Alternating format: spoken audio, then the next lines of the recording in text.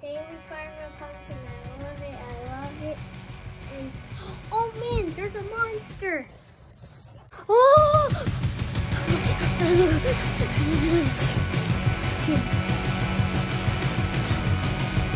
ah!